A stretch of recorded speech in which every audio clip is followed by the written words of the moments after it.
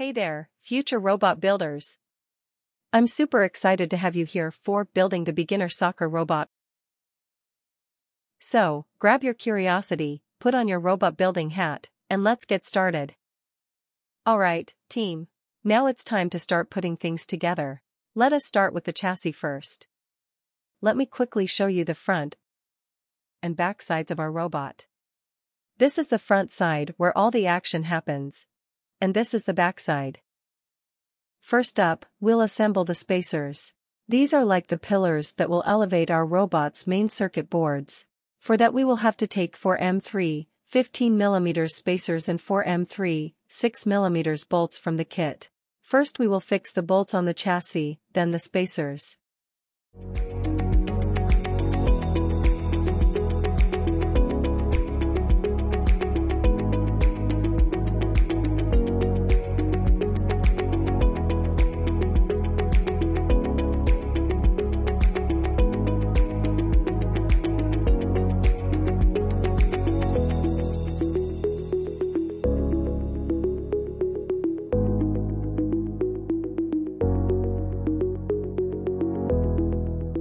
We'll assemble the spacers.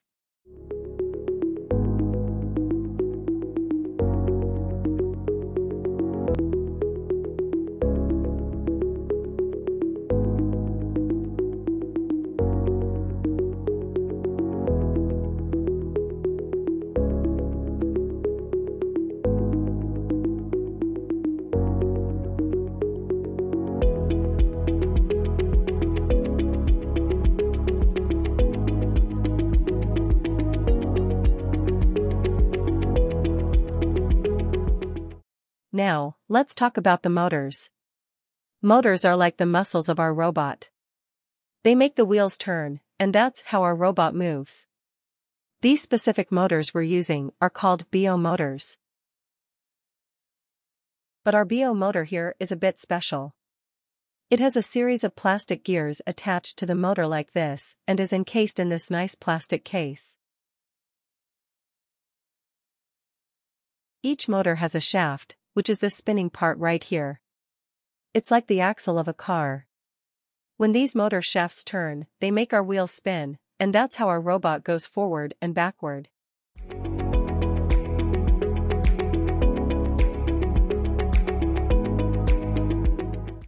To attach the motors, we'll need some long bolts and nuts. These are the M3 25mm bolts and 3mm nuts. One motor will need two of them so take out four and make sure the motors are securely attached on the chassis.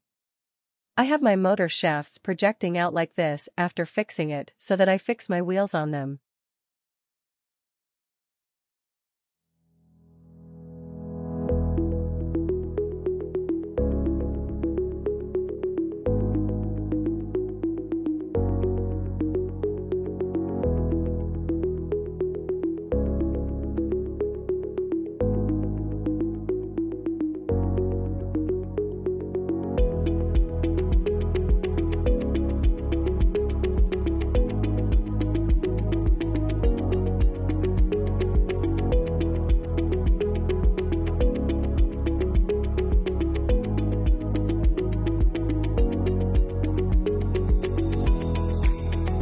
Before connecting the wheels to the shaft of the motor, have a look at the shape of the shaft and hole in the wheel. They are not perfectly cylindrical in shape, these types of shafts are called double D type shafts. Match the hole and push gently to fix the wheel. Do not break them.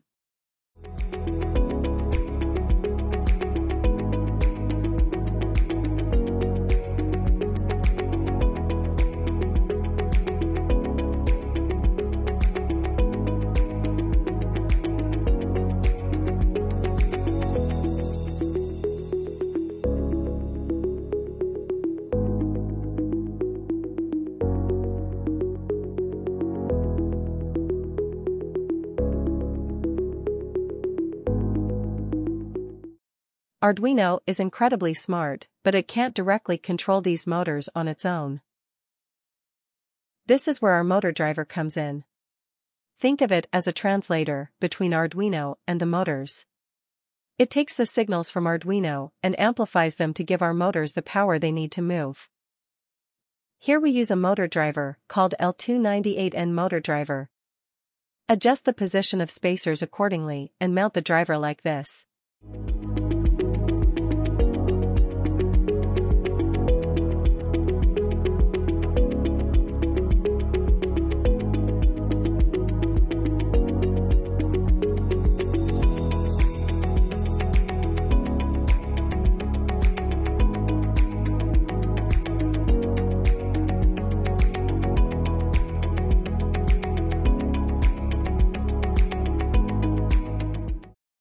First, let's connect the power cables to the motor driver. In the kit, you'll find two wires that look similar for this purpose. These wires provide the necessary power supply for the motor driver to function properly. You'll notice two green connectors on the motor driver marked with plus 12V and GND. Let us loosen the screws like this and poke the hole with the screwdriver so that it is easy to put the wires inside it.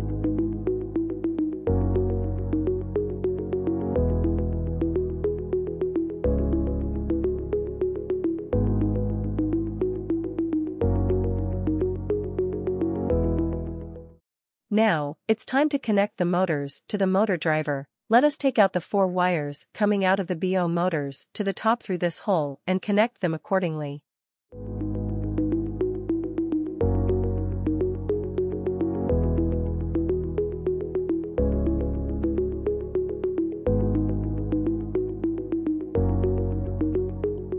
Let us loosen the screws like this and poke the hole with the screwdriver so that it is easy to put the wires inside it. Tight the screw back and make sure that the connection is intact.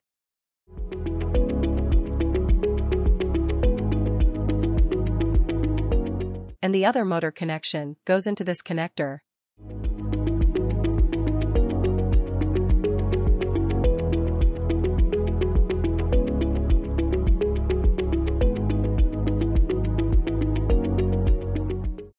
Next, we place our Arduino board right here, on top of these spacers.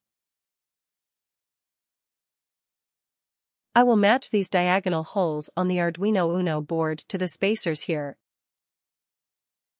and fix them with 2 M3 6 millimeters bolts.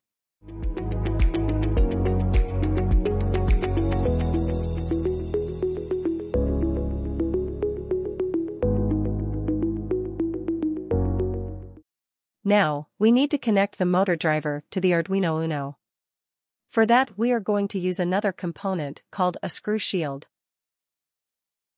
These screw shields can be connected on top of the Arduino like this.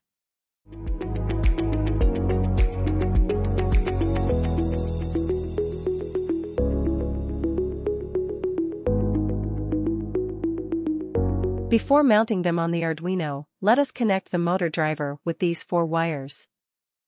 Make sure that you take the screw shield with labels RX, TX, 2, 3, 4, etc. Here, let us connect the first two wires onto these green connectors with labels 10 and 11. Similarly, the other two wires should be connected to 5th and 6th green connectors. Loosen the screws on these connectors, create space for the wires, and then tighten the screws.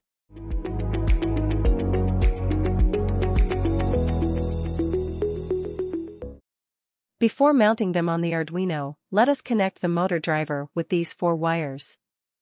The black end of the wires go onto these specific pins like this.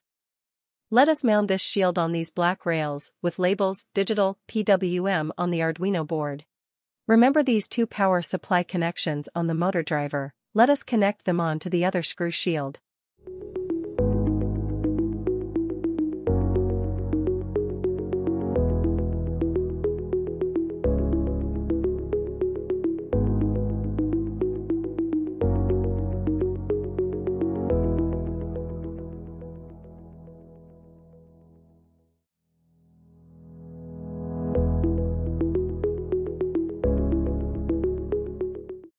This shield you will find the connectors with labels VIN and GND. Let us connect the wire from 12V connector of the motor driver to the VIN connector on the shield. Similarly, the wire connected to the GND of the motor driver should be connected to the GND on the shield.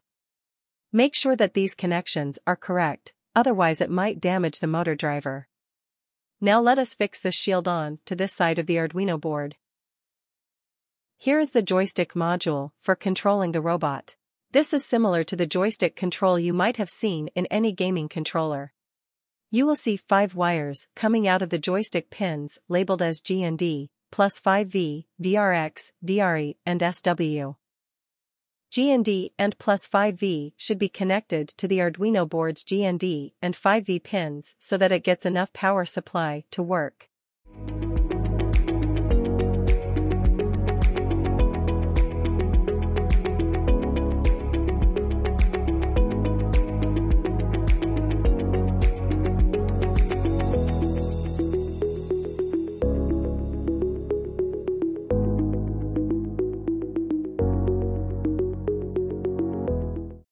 Other pins need to be connected to the pins A0, A1, A2 of the Arduino board.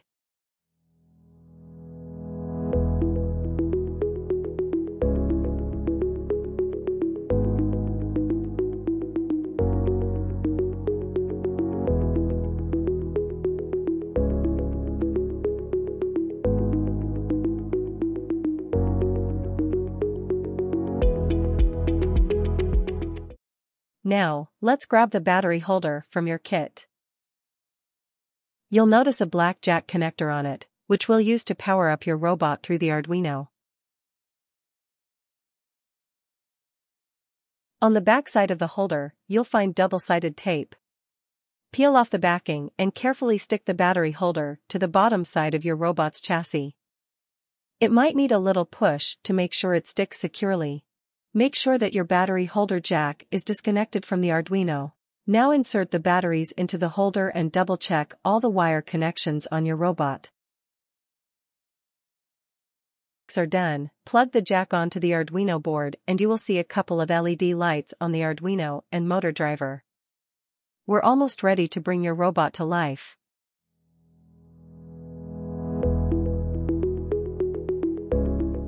Now it is time to upload the code for the soccer robot to make it functional. Here we have the code for making the robot move accordingly with the joystick. Let us connect the robot with the computer and upload the code. Choose the correct board and port first from the Tools menu. Then, let us check if there is any error in the code by compiling it from the Sketch menu. Once it is done without any errors, let us upload the code and see if the robot is working properly.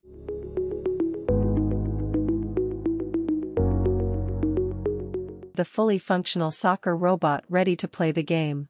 As you move the stick on the controller you can see the robot moving smoothly. Master the control and get ready to play soccer.